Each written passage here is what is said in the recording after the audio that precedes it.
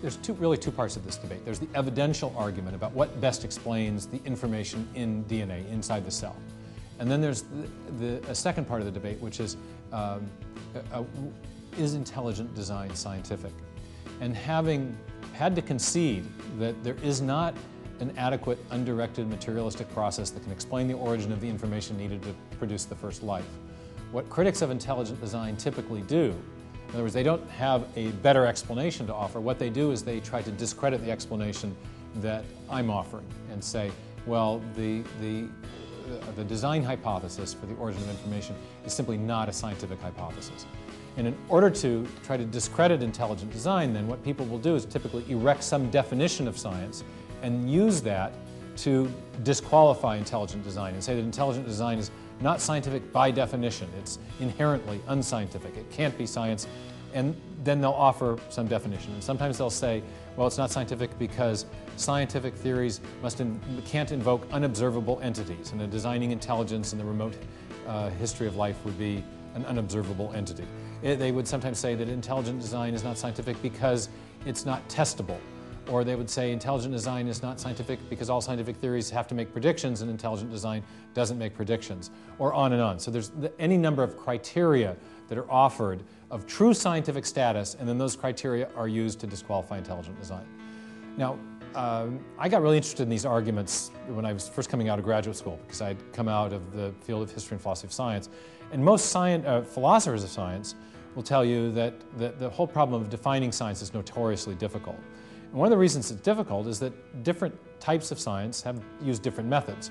And typically these definitions of science that are used to disqualify theories we don't like are, are, are definitions that are based on, on some understanding of scientific method. Usually people will say the scientific method.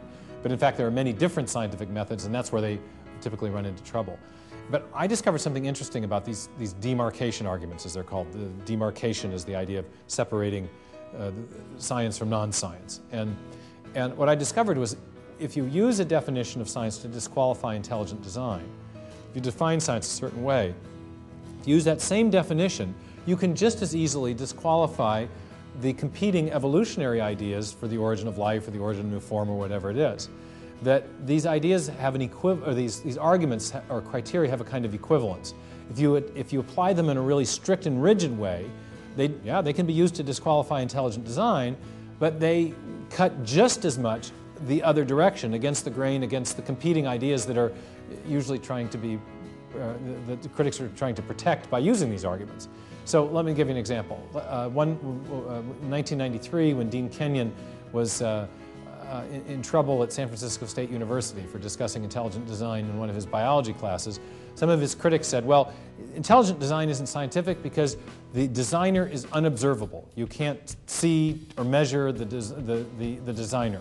And, and, uh, but uh, this is an odd kind of argument to make for anyone who's aware of, for example, theoretical physics or evolutionary biology or molecular biology or any number of fields. In science, we very often uh, infer an unobservable entity as the explanation for facts and evidence that we can observe. So science is often indirectly inferential. You infer from the observable to the unobservable. That's exactly what the theory of intelligent design does. We infer, from the observable facts of molecular biology to the unobservable action of a designing intelligence. Evolutionary biology does the same thing. It infers to unobservable past events and, and, and processes. So if unobservables are legitimate in some branches of science, then why can't they be legitimate in intelligent design? Or conversely, if you're going to disqualify intelligent design on the basis uh, th that it infers an unobservable entity, then, then on the same basis you ought to disqualify the competing theories or other scientific theories that invoke unobservable realities to explain observable phenomena.